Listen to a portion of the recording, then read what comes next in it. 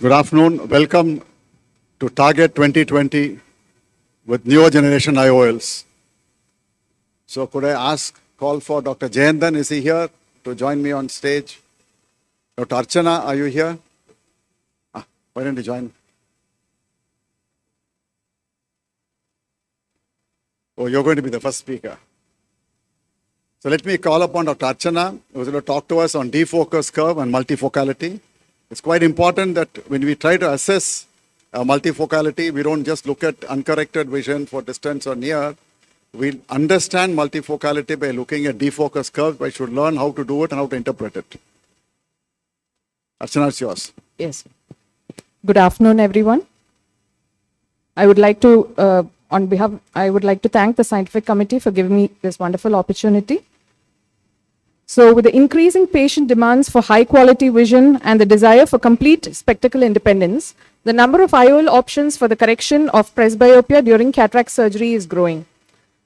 So, our mission as cataract surgeons is to help patients determine where in their daily life they want to see without spectacle spectacle correction and to maximize the quality of vision in zones that matter most to them.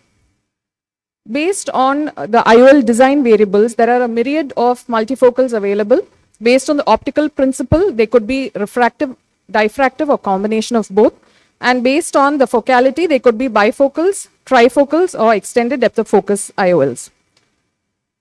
So, uh, based on the optical principle, in, they are classified into the refractive and the diffractive IOLs. So, what are what is the defocus curve? So, these are the points under which I'll be discussing about them. So, what is it? Why is it important? How is it measured? How is it influenced? And how is it relevant to our clinical practice? So, what is a defocus curve? It is a strong objective clinical measure of how well a lens is correcting presbyopia. It also directly addresses the main factor that drives patients to consider a presbyopia correcting IOL in the first place, that is a desire to uh, for good visual acuity at all distances. So how is it measured? Usually, how we uh, how do we measure visual acuity? It is traditionally uh, determined by manually placing visual acuity charts at discrete testing distances, such as, like, say, for distance at 6 meters or near at 40 centimeters. But when we have to evaluate the effect of an IOL, or like a trifocal IOL or extended depth of IOL, we have to assess the visual acuity at different testing points. So it would be impractical to move either the chart or the patient towards each other. So, what can be done? So, before going into that, some basics. We all know that accommodation is zero, is zero in pseudophakics, and the focal length in meters is inversely proportional to the dioptric power of the lens. So, any emmetropic person with one diopter of accommodation can clearly can see clearly at a distance of one meter, and hence, when we place a minus one diopter lens, it effectively tests the vision at one meter. See, for example, if there is a pseudophakic patient, say with a trifocal IOL in situ, and they are first made to uh, sit at a distance of 6 meters with a best corrected visual acuity of 6.6. Now, if we place a minus 1 diopter lens in the trial frame, actually they should experience a blurring of vision. If the patient still continues to see 6.6, it means that the IOL is contributing to a 1 diopter add effect. So, if we view a distant object through a minus 1 diopter lens, we are creating an optically equivalent uh, condition of viewing an object at 1 meter and so on and so forth. Like if we place a distant object, we are viewing a distant object through a minus 4 diopter lens, it's optically equivalent to viewing an object at 25 centimeters. The defocus curve then provides an objective measure of expected vision at different distances. So, in a defocus curve test, whenever we place, see, for example, if we place a minus 2 diopter lens in the trial frame in a pseudophakic patient, due to a hyperopic shift, we are actually checking uh, the optical equivalence at a distance of 50 centimeters. So, this is how the defocus curve will be plotted and with the diopters of defocus plotted along the x-axis and the visual acuity plotted along the y-axis, it could be in Snellen's or in Logmar. So as successive lenses are introduced, acuity is likely to change and a typical range of defocus testing is usually done from plus 1 to minus 4 or plano to minus 4 diopters. So these are just, uh, I'll be just displaying a couple of uh, slides showing. So this is when we compare two different IOLs, like a monofocal IOL and a trifocal IOL. So monofocal IOL where the best corrected visual acuity maximum uh, is excellent for infinity for distance vision, but progressively it keeps reducing for intermediate and for near. Whereas for a trifocal, we see that uh, it is best for distance and then again at an intermediate zone of uh, 66 uh, centimeters and then for the near zone. So this is again a defocus curve uh, which is anticipated and then which is predicted for uh, the different IOLs including the extended depth of focus IOL. So this is a defocus curve which we can easily, which we ourselves can perform in our OPD. It may be slightly time consuming, but this is the concept. It is a very simplified chart. So uh, the increments of the uh, lenses to be placed in the trial frame are plotted along the x-axis and the visual acuity along the y-axis. And these are the three main zones which we are looking at. So we can check patients with a, extended depth of focus IOL or a trifocal IOL or a multifocal IOL. So we can assess for ourselves how effective these IOLs are and not just go by the claim of the lens manufacturer. So how is it still influenced? It's influenced by the pupil size, low contrast visual acuity, by induced astigmatism, and uh, we adjusting for optical infinity. And we try to usually overcome these factors, these influencing factors, especially any residual refractive error by best correcting the, by, before the patient starts doing the defocus curve, we'll make him wear his best correction. Pupil size is another factor which can influence, where a smaller pupil usually tends to produce less optical aberrations. Larger pupil can produce more optical aberrations. The American Academy of Ophthalmology Task Force for the Extended Depth of focus IOL suggested stratification of data into small, medium, and large pupils size groups with a pupil diameter being measured on the same day and under the same conditions as the defocus curve test. Contrast sensitivity also is a factor which can influence the outcomes here. Low contrast visual acuity testing of a patient's ability to see low contrast letters that is gray on white has been increasingly used in the assessment of trifocal and EDOF IOLs not all IOL's defocus outcomes are equally affected though by the reductions in contrast. So how is it assessed? Once we do the defocus curve, there could be a direct comparison of the defocus level, range of focus analysis or area under the curve analysis. Direct comparison is the simplest where point to point we compare between uh, the different uh, IOLs at different focal points and the next is the area under the curve analysis where the defocus curve is separated into the distance, the intermediate and the near sections and the entire AUC that dips beneath the 0.3 logMAR is calculated and expressed as logMAR per meter. The greater the area under the curve, the better would be the visual acuity with that section. So, to, how many women do we see here? It appears to be three. Well, so the objective of my uh, talk, although it is a lot of theory, is that uh, although each IOL manufacturer generates marketing data that depict favorable results for its uh, implant designs based on lab testing like modulation transfer function and Air Force bar targets, but this defocus curve is the real world measure of IOL performance and is the best objective indicator of expected range of vision so this would help us set realistic expectations for our patients. In addition to chromatic aberrations, modulation transfer function, Strehl ratio, visual acuity, contrast sensitivity, and patient-reported outcome testing, defocus curves will serve as another key tool to assess performance of presbyopia correcting IOLs. Thank you.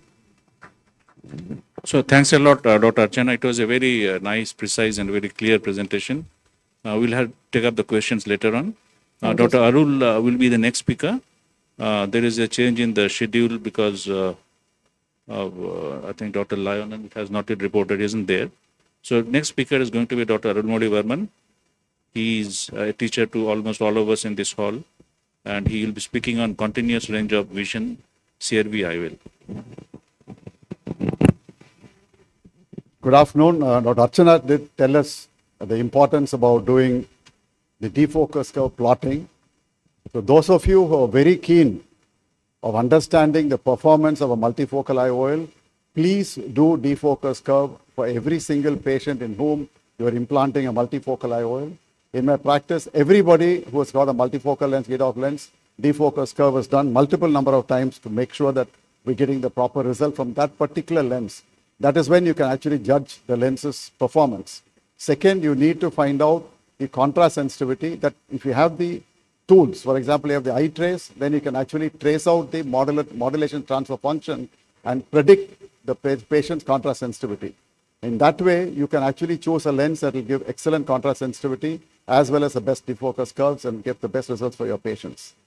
So now, continuous range of vision is the holy grail of presbyopia correction. That's been something you've been looking for for a very long time. As the name implies, you're trying to get clear vision right from infinity to near, and the quality of vision also should be high. That's what we're looking for.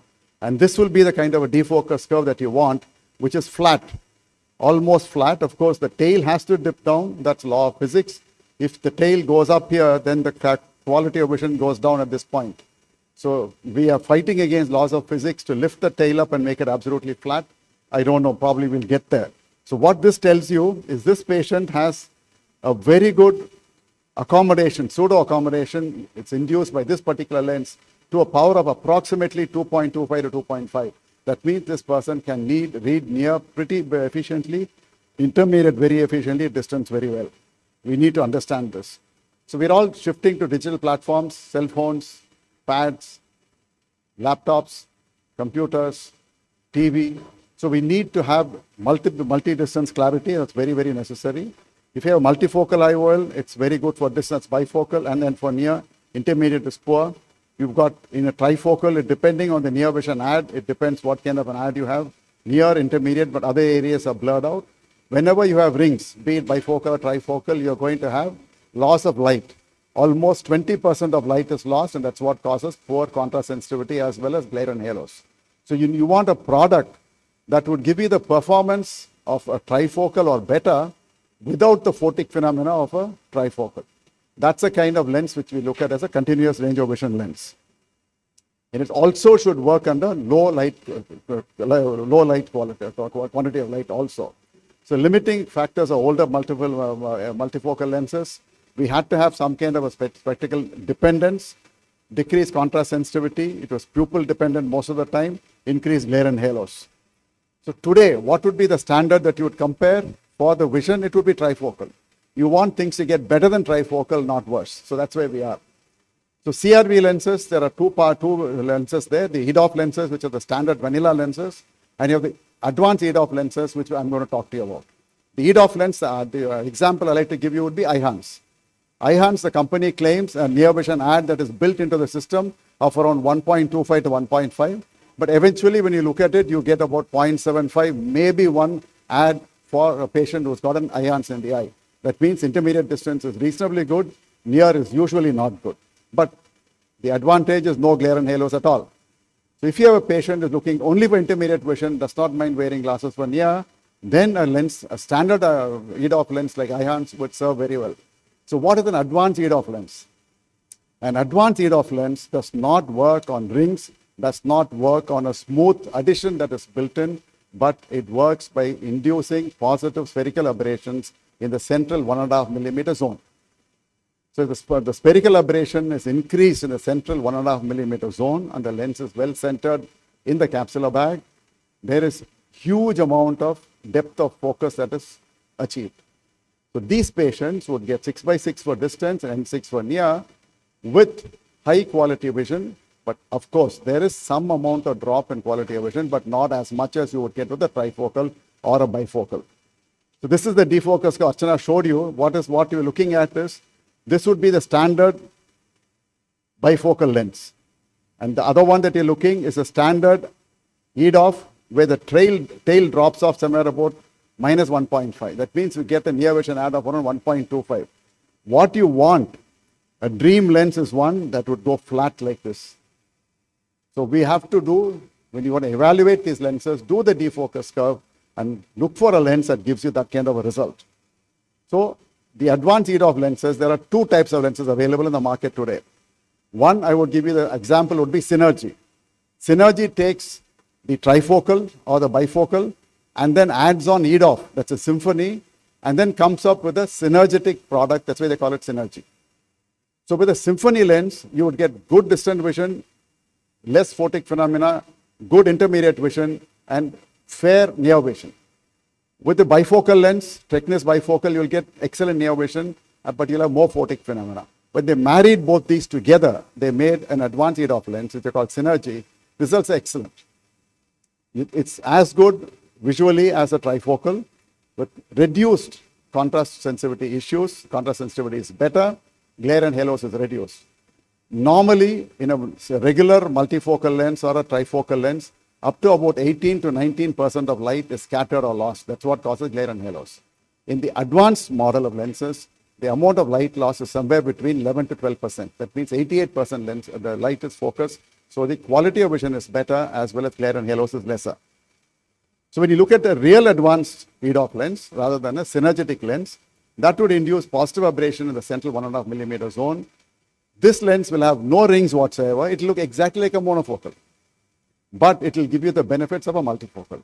The, the sample, example of this lens would be the Appasamy's uh, Swiss Phobe, which gives you fantastic quality of vision with no glare and halos and excellent near vision intermediate as well as distance. So as of today, if you're looking at what is present and what is the state of the art, would be synergy that comes from J&J, and you have got Swissfob that comes from Appasamy. Now, all the companies that are working, they're working towards finding lenses that do not have rings. And all of them are working on inducing aberrations. Who learns how to play with the aberrations, how accurately to make them, how accurately to play, accurately to place it, and give you the appropriate amount of aberrations in the center, which will not interfere with quality of vision, is going to be the winner of the game. So this is the kind of thing. To get good results, it's just not the lens, accurate biometry, precise A constant, dry eye workup, aberrometry workup, angle alpha workup, and counsel the patients. So I'll skip this. Light utilization, I told you, in these lenses is close to 90%. So I'll, I'll just show you a very, very short video. This is uh, going in. So you'll find the number of rings are much lesser. The center is, has got less rings, the periphery has more. This lens works brilliantly. This is probably the state of the art lens today. The other one, as I told you, Appasamy Swiss Phobe is fabulous. So MTF is something you you need to look at it. This is the kind of uh, defocus curve that we got out of the synergy. They are excellent defocus curves will give you fantastic vision. So if you have the eye trace, you can actually do the internal MTF for every one of the lens that you implant, and you can choose one that gives you a good MTF that gives you good contrast sensitivity. So you, you draw a line from 10 cycles to 40%. If the graph is above that, this lens has got, got good contrast sensitivity and has a good modulus, a modular uh, tra- uh, transfer function that is excellent and acceptable. So this particular lens synergy is acceptable in that range. The results are very, very good. In summary, advanced EDOF lenses as well as continuous range of vision IOLs give excellent visual results and satisfaction, and they are the future that you're looking forward to. Thank you.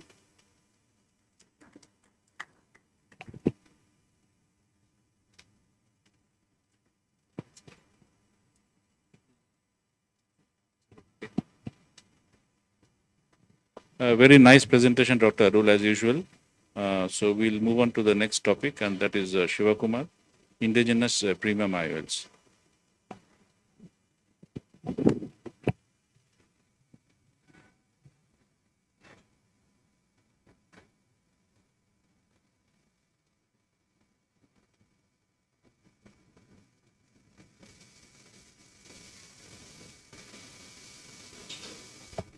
So good afternoon, and uh, thank you very much for this opportunity. I'll be talking about uh, indigenous premium IOLs, one in particular.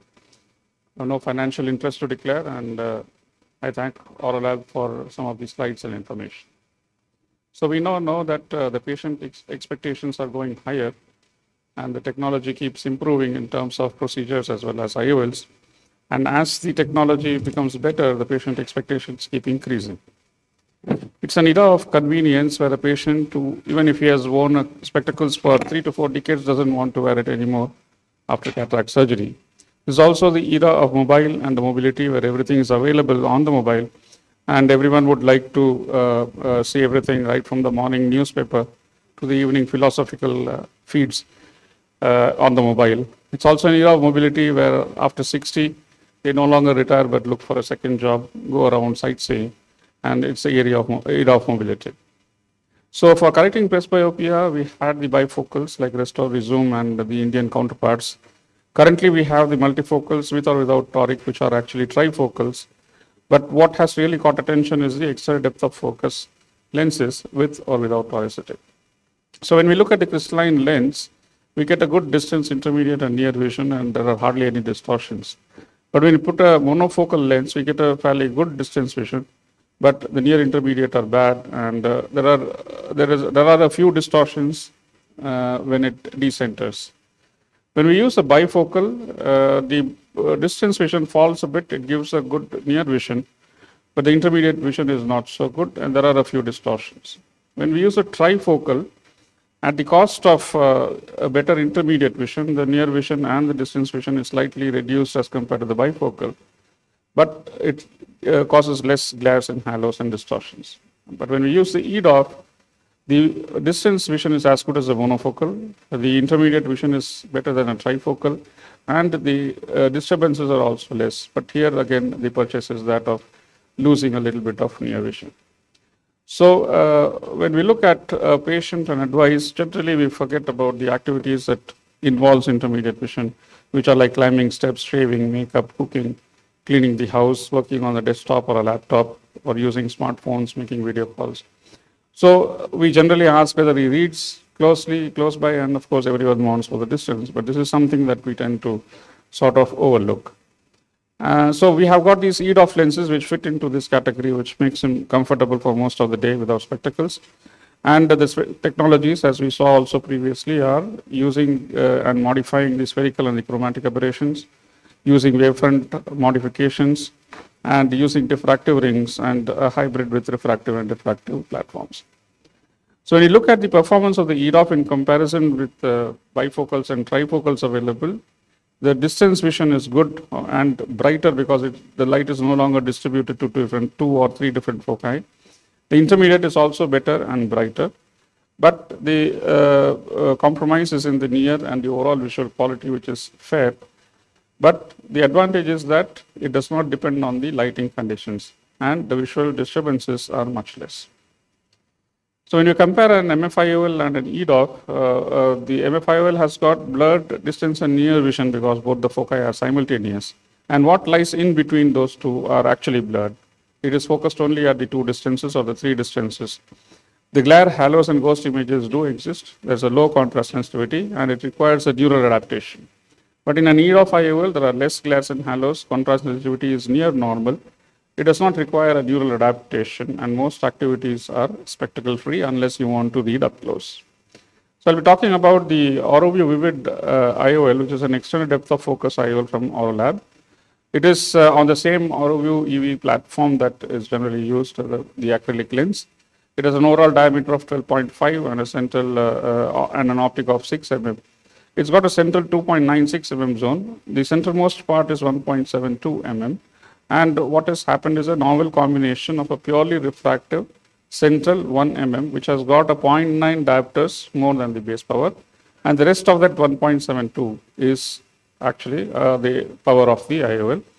There are four diffractive rings starting from 1.72 to 2.96, which accounts for about 2.1 diopters. So it brings the focus closer up to about 50 centimeters.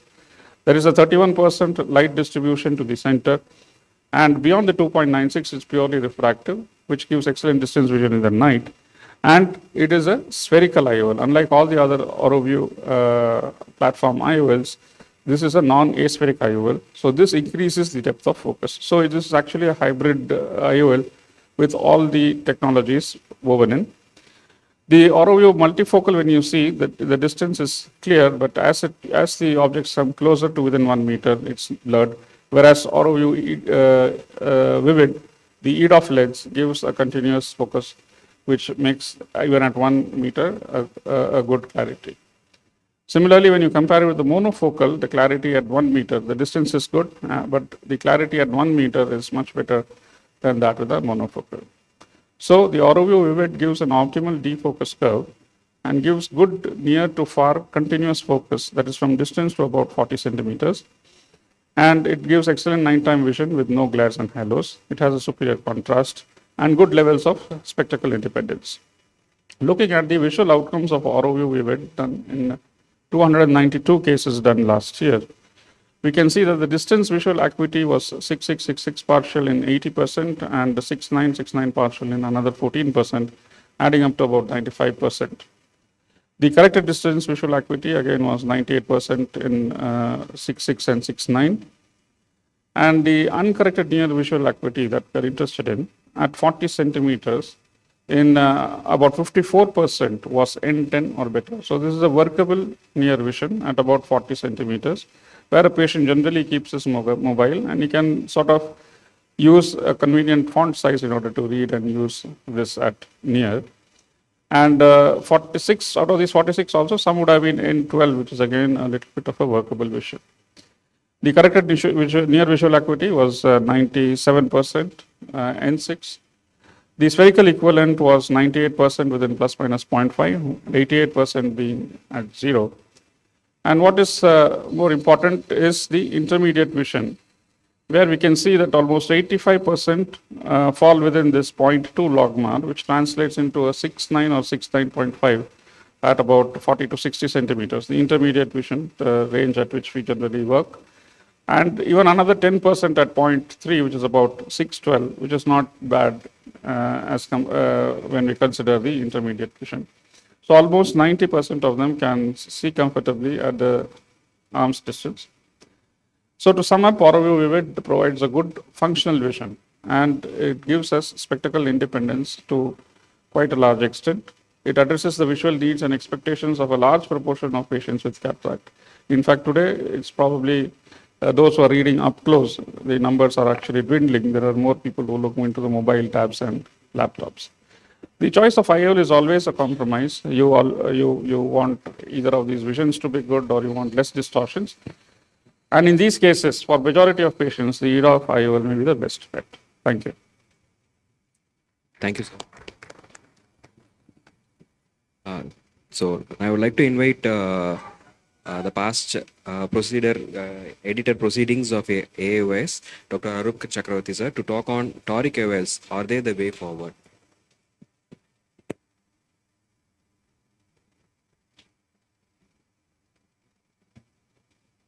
Bunu bırakıp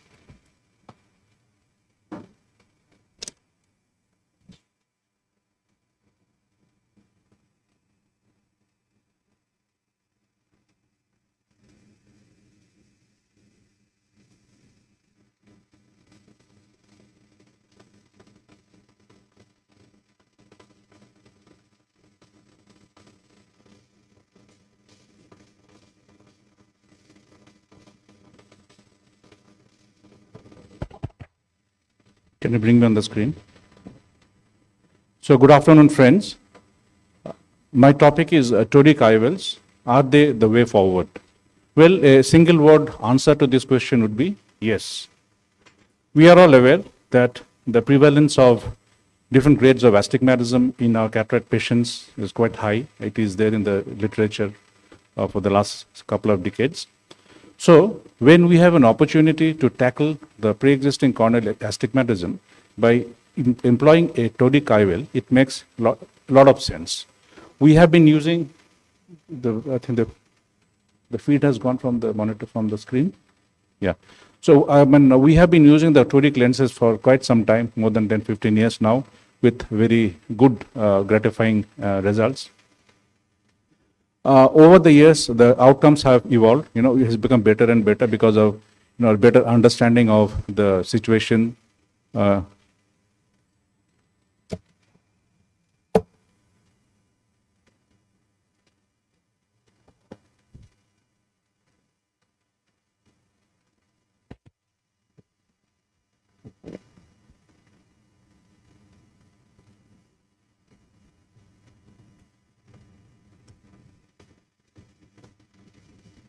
Okay.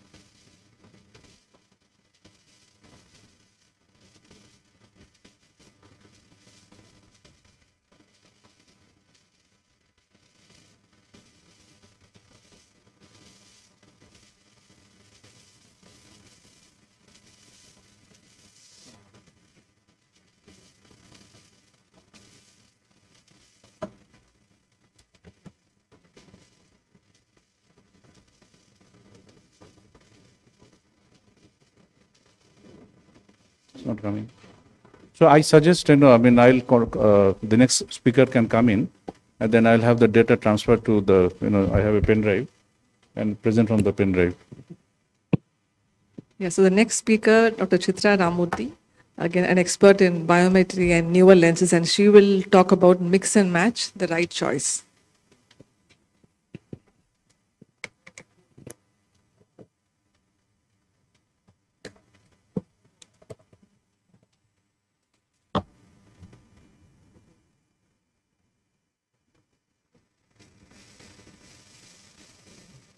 Any questions for the previous speakers as we are pulling up the, uh, Mine is ready.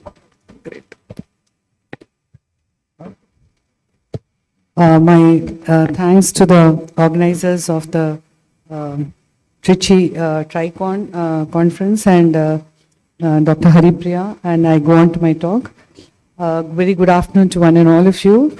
Um, Today, as we stand, customizing multifocal IOLs, because we have a range of multifocal IOLs, to the patient profile would definitely give us an optimal results. But herein, the main challenge is the selection, because a person could be a short person, a person could be a tall person, because of which the arm length at which he or she is going to use the reader would make a difference. So it's so critical that we as- choose the right patient. And when you try to look at a history, like in 2009, there were only about 6.4% of the people who were uh, implanting premium multifocal IOLs in their practice.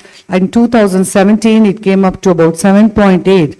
But today, in this last decade, we are anywhere from 25 to 80% of our people who are using multifocal IOLs.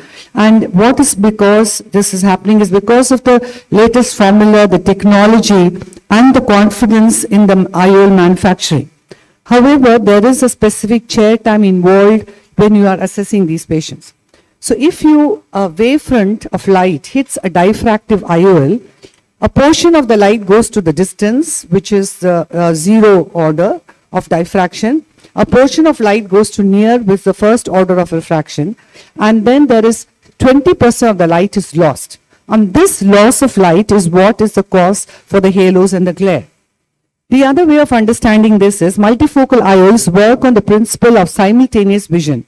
When one image is in focus, the out of focus image is actually getting suppressed, and it is this out of focus suppressed image which is the cause for the halos. So it was these issues and challenges of glare, halo, of lack of contrast, which were the limiting factors. So now that we have different lenses in the market, the trifocals, the EDOFs, and the ability to mix and match, it has to be an individualized IOL selection, and definitely an individual, uh, uh, one size is not going to fit all. Archana beautifully described to us what is a defocus curve. Honestly, it is the real world objective measure of an IOL performance. And I'm not going to go again all into it. Like if the person is best corrected with the intraocular lens in his eye and is focused for a BCV of 6.6 at distance, if you can keep adding a minus 0.5 diopter lens on his trial frame and the patient till keep recording the vision till the patient can see. And if it is equivalent to that, if a one diopter of lens is placed, is equivalent to what he's seeing uh, at one meter, and if a four diopter lens is placed and he still sees, it's about 25 centimeters. So that would tell you what is the range of lenses of each of these eyes. Uh, of each of these intraocular lens in this eye, and that would be a way of detecting what is the manufacturer promised. It has to be an ideal preoperative examination. We have to uh, rule out all those um, type A personalities who are going to be questioning you, who have taken a resolution not to be happy in life. You need to choose patients with realistic expectations. Do explain to them that neural adaptation helps enormous, enormous number of them. We need to look right from the ocular surface to the tear film, right up to the lens, whether there's any zonular weakness, right up to the retina at the OCT, macula to know whether there's any hidden pathology. And if there is any meibomian gland dysfunction, you could treat it because only if your tear film is okay is your biometry going to be ideal and that would be your way forward. And then later go back and take the measurements. And of course, an OCT macula would tell you that you're not going to have a pathology which is going to further hit the contrast sensitivity treating even the smallest amount of astigmatism is mandatory. So now coming to the lenses, you have the trifocals, you have the EDOF and the mix and match. Of course, we have to do a perfect surgery, a perfect rhexis overlap, and if you're on a femtocataract platform, it is going to be so repeatable and sure. Now, when we talk of trifocal technology, it is something which is going to give you a good distant vision and near vision and an intermediate vision which is not going to impair the far and the near and there is no increase in dysphotopsia. Now, this is a patient who is retired, who wants great distance, intermediate, and near vision, and does not care if there's a little dysphotopsia. So here you see that the astigmatism was 0.74 and 0.59. We took him on the femtocataract platform and did an arcuate keratotomy along with the cataract surgery, which took care of the astigmatism, and the patient did very well. Now, the and when it comes to trifocal, we need to know that there are patients who would have need. Uh, it has an intermediate at 60 centimeters, and with some IOLs, the intermediates is at a 90, uh, 80 centimeters. Like AT LISA and Fine Vision have 80, and PanOptix has 60. Just for an example, I'm going to talk about PanOptix here. The PanOptix has an intermediate vision of 2.17 diopter near. Is the diffractive 15 rings it has. The important thing to note here is it has what is called an enlightened optical technology, which I would explain. More importantly, unlike the earlier multifocals, it gives 88% light transmission. Now, when you look at this, a conventional trifocal has one distant vision and two step heights. The quadrifocal IOLs have three step heights. And what the PanOptix has done is, it has one uh, first focal length point at uh, 40 centimeters, the intermediate, which is uh, at 60 centimeters, the third at 120, and infinity. What it has done is the 120 has been redistributed back to distance to give a distant vision so that it has 40, 60, and infinity, which means with majority of our work is at intermediate work is at 60 centimeters, so it seems to make sense. Now, if you look at the defocus curve of some of the EDOFs and the trifocal, you can see like PanOptix has crisp distance, intermediate, and near, whereas the fine vision does well, has an intermediate at 80 centimeters. If you look carefully, the Tecnis Symphony is having good distance and fair intermediate, but not good near vision. So this gives us a summary of what lenses you're going to look at. Continuous range of vision, which was so well discussed by Arul Varman, gives you a continuous distance, intermediate, and near vision uh, fair near vision. It is a combination of Tecnis multifocal, IOL, and an EDOF such that the patient is able to uh, have the advantage, but it takes the advantage of Tecnis, and so it there is a correction of spherical aberration. It has reduction of chromatic aberration because these are achromatic lenses, and these are also violet blocking lenses, because of which there is a, it, it decreases the scatter and the contrast by blocking the violet and gives a continuous range of vision right from 33 centimeters to distance. So then, this is a case two. Now, this patient does not wants great distance intermediate vision, but does not, is ready to have an occasional reading for which you could think of a lens like a Vivity lens. Now, the Vivity lens has a one micron elevation and a two, two micron curvature change. And I'm not going to positive time. I can just tell you that it has got a stretch and shift kind of a waveform. It is a non-diffractive IOL and gives you about plus 1 to 1.5 diopter of add. And this gives you a great distance vision and a fair amount of intermediate vision. And you could do a micro monovision, give him a good distant vision, and you can make him a little myopic in the non-dominant eye, and, and then allow him to manage for both distance and near. Now the EDOF lenses like Symphony, which is not very much there in the market, just to understand it, uh, it gives 92% of uh, uh, light transmission was possible with these lenses. And if you again do a defocus curve, which just tells you that the synergy gives you a continuous vision. The trifocals have a peak at distance, intermediate, and near, whereas the symphony falls off for near.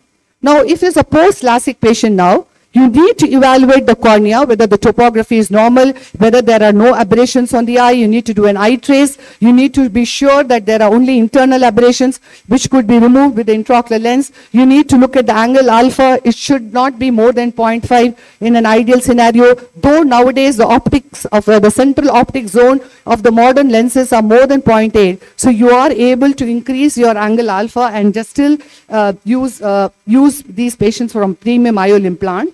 But you also need to go on to the LASIK mode for these patients and then go ahead. And in this particular patient, it was done some time back. symphony was done in both eyes and the patient was quite happy. Now, if it is a patient with some ocular comorbidity, a mild glaucoma, you could put an eye hands for his dominant of both eyes or Eyhance for the dominant eye and do a micro monovision and give him a little myopia and little more add for the, the non-dominant eye. If it is an advanced glaucoma disease, it's best to leave him with a monofocal. When you want to do, before you think of doing a micro monovision, um, mix and match, you also could do go, go slow strategy wherein you have implanted an IOL in one eye, you look at the patient, understand what are his disturbances, and accordingly you use the second eye to titrate. When you talk of blended vision, if it is an Eyhance, as I had already alluded to in the earlier example, you give him a full distant vision Eyhance and make him a little myopic of 0.5 and or 0.75 in the left eye, in the non-dominant eye, and he is able to manage well. You could give him an Eyhance in the right eye, and you could plan a PanOptix in the left eye which would give him a crisp near vision and a distant vision, and the great good vision of Eyhance for distance would take him forward. You could even do a vivity uh, and do a micro mono vision with those eyes.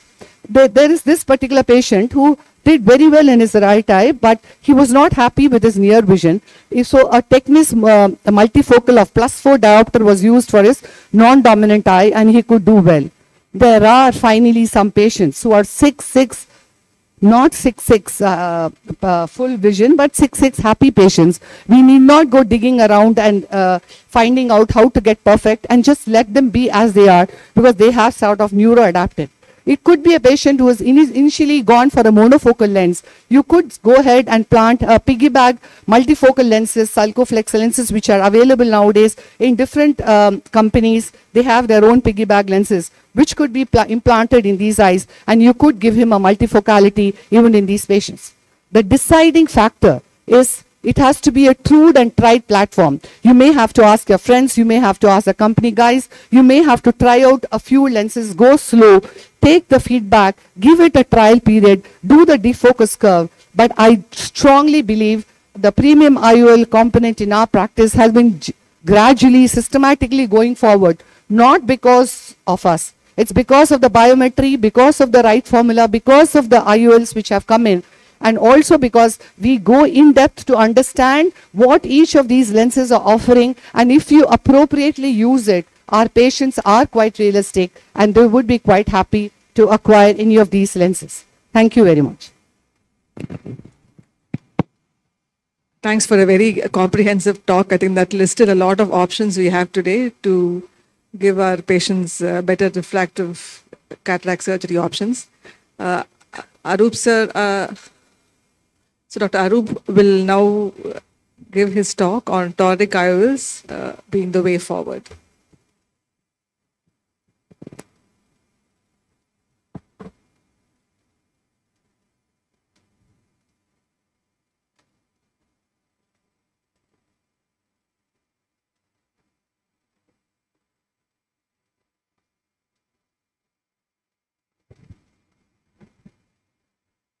Can have, can be back on the screen?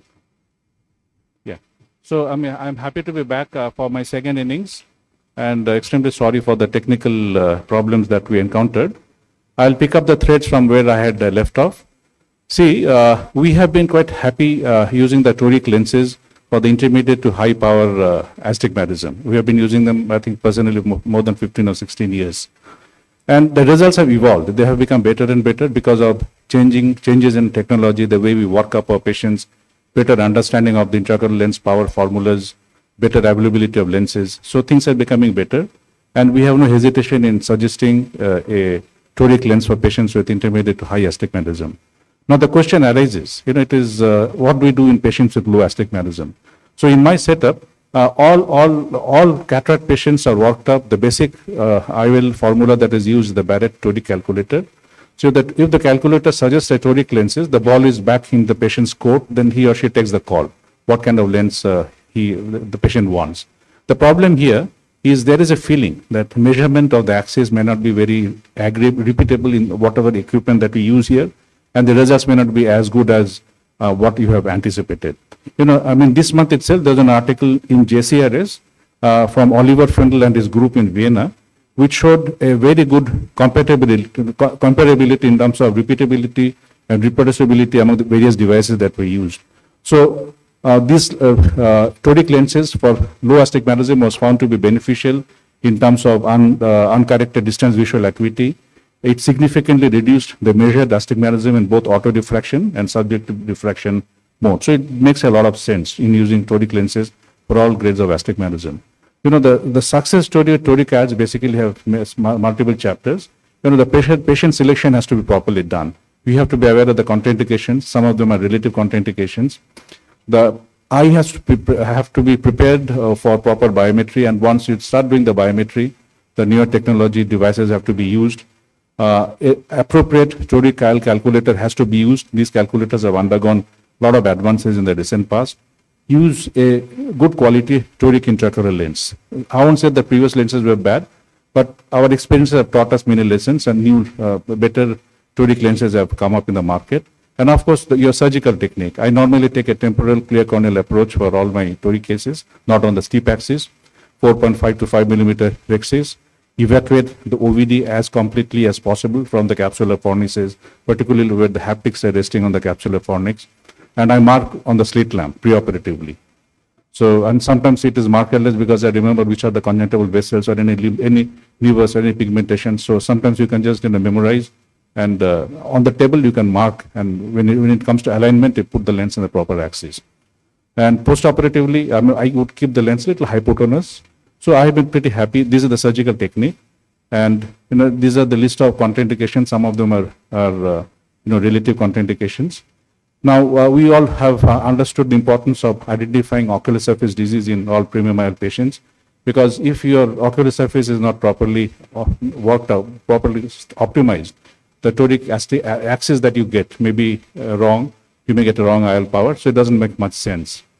Uh, we must be thankful to Dr. Doug Koch for uh, reinventing or rather, you know, reigniting our interest in posterior corneal astigmatism. And this definitely plays a very important role in not in routine cases, but in complex uh, situations. I'll be referring to it uh, in a few slides from now.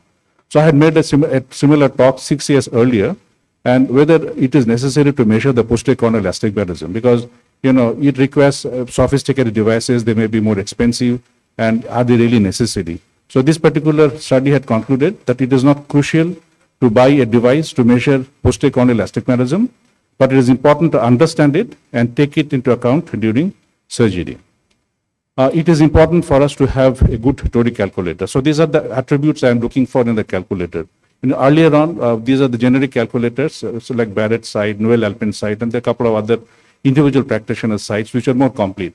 The, the, the factory uh, uh, toric calculators like Alcon, A- AMO those days, uh, so they were not, they had certain de- deficiencies. So basically, you know, we, the, it should be able to give you an alert on the axis flip.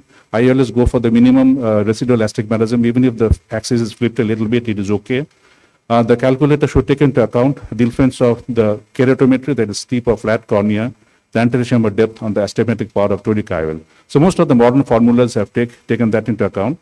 The toric calculator should also have a facility to include the posterior corneal astigmatism values uh, for in a complex site like post-refractive surgery, uh, keratometry, uh, post-refractive surgery eyes or, very steep corneas or you know such uh, non-virgin corneas.